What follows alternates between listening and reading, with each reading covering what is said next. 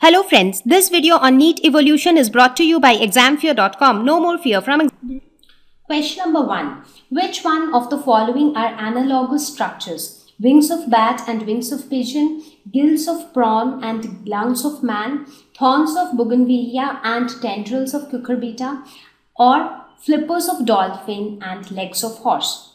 Now, even before we discuss the options, let us first quickly recall what are analogous structures. So analogous structures means organs which perform similar function but they have different origin and structures. So that's analogous organs. And homologous is just the opposite. So they perform different functions but they have the same origin and structure. So let us uh, try to analyze each of these options and find out if it is analogous or not. So the first option is wings of bat and wings of pigeon so if you look at bat and pigeon so do are they related groups? No not really. Bat is a mammal pigeon is a bird. So they are not really you know uh, related groups.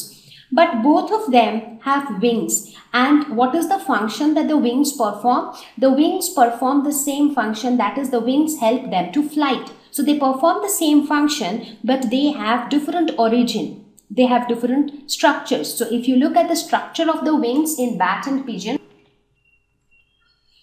so the first option is correct because wings of bat and wings of pigeon they have different structure. So when it comes to structure in case of bat the wings are formed by skin folds stretched between elongated fingers so there are fingers and skin folds stretched between them that makes the wings whereas in case of pigeons the wings are formed of feathers covering all along their arm so the structure, structurally also the, the wings of bat and wings of pigeon are different, but their functions are the same. So wings of bat and wings of pigeon are analogous structure. Let's move on to the next one. That is gills of prawn and lungs of man. Now if you look at the function, function wise lungs or in man. It serves as a respiratory organ. Similarly in case of prawn the gills also act as the respiratory organ. So function wise both of these helps in respiration. So the function is same. Now if you talk about the structure now first of all man and prawn they are again non-related groups right? So in non-related groups you have an organ which performs the same function. But structure wise again if you see like if, if you look at these two these organs are sure to be anatomically different. So lungs and gills they're definitely not going to have the same structure. Right? So therefore in this case also you can say that gills of prawn and lungs of man they are also analogous structures because they're also the, they perform the same function but structurally they are different.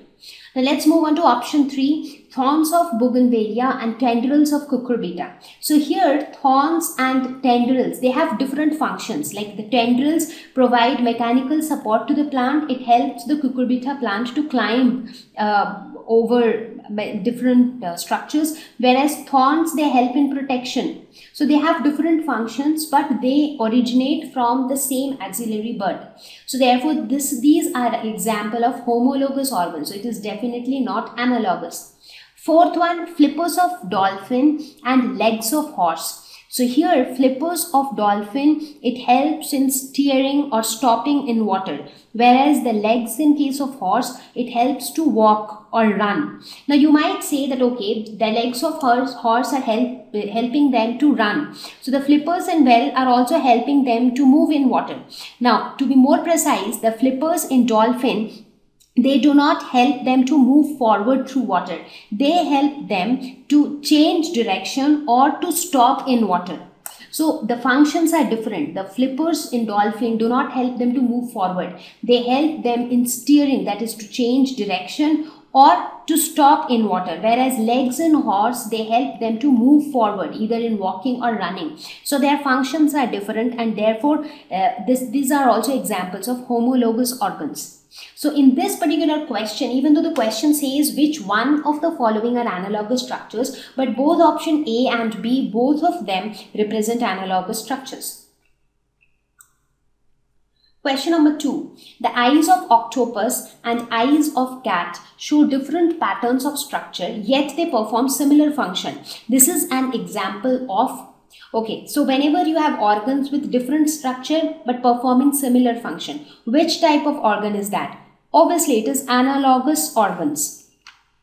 Now, with, with what kind of evolution does it show?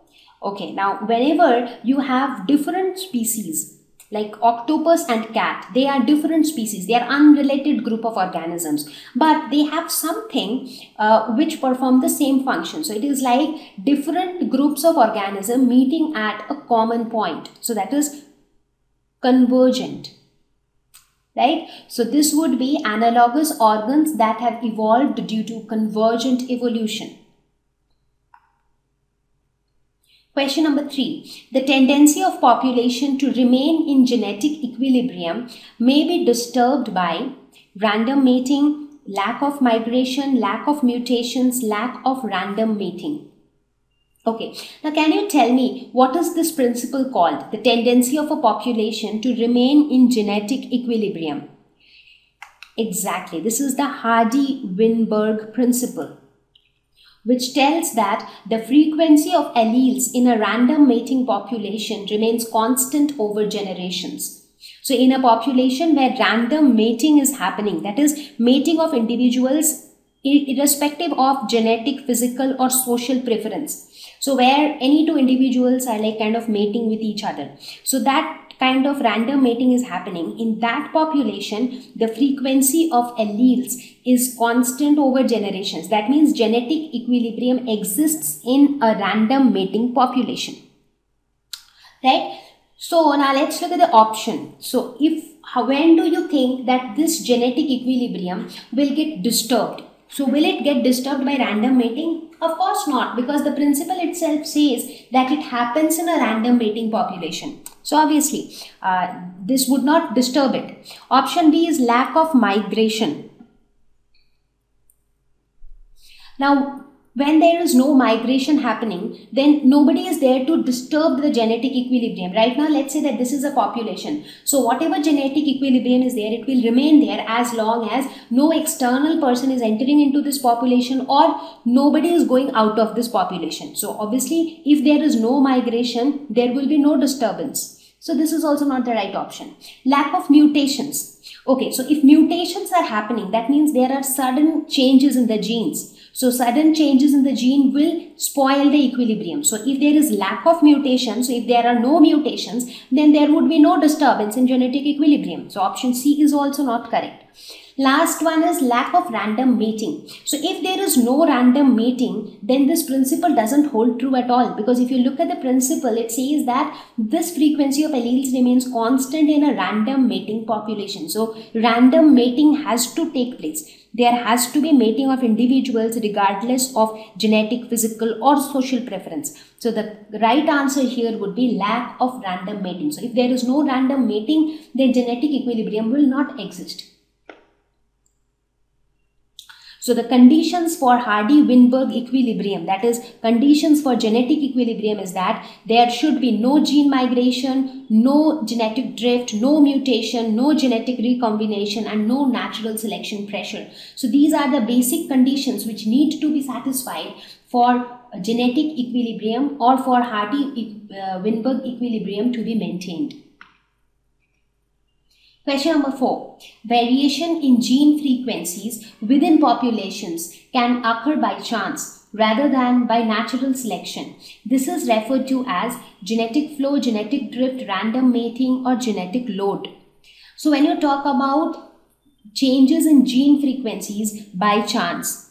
So whenever it is about by chance, that means there has to be a drift so that is called genetic drift. So whenever you talk about changes in the gene frequencies by chance, that is genetic drift.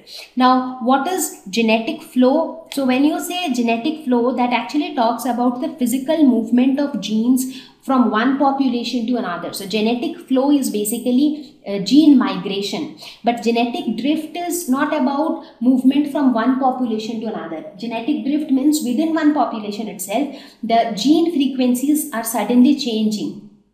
So that is genetic drift. Like we had talked about the founder effect, the bottleneck effect. Those are all examples of genetic drift where the frequencies of the genes are changing within a population. Thank you. Please visit examfear.com for free quality education. You can learn with a simple four step learning process wherein you can watch video lessons, you can ask your questions, you can refer notes, and you can take a free online test. We have content for class 6 to 12 on physics, chemistry, mathematics, and biology along with practical videos. So please subscribe to our channel for daily updates. Thank you.